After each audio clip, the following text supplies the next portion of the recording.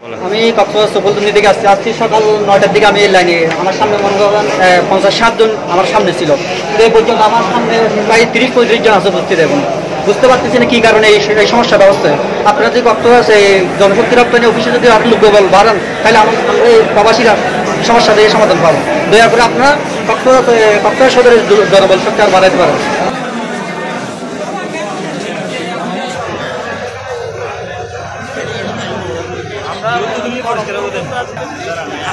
এখন সকাল নটা থেকে আসছি। আগে পর্যন্ত দুটা গেছে এখন পর্যন্ত পাই পঞ্চাশ পিছনে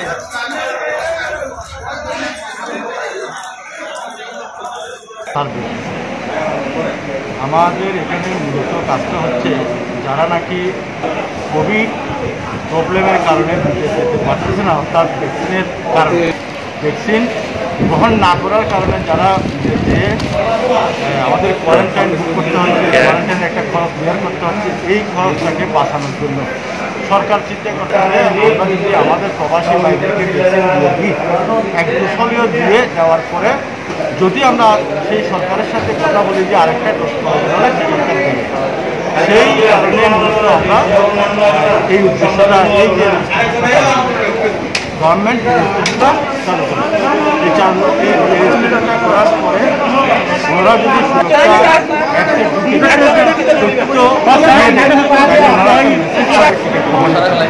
সেই টিকিটটা গ্রহণ করে ওনারা বিদেশ ভ্রমণ আর রেজিস্ট্রেশন কার্যক্রমটা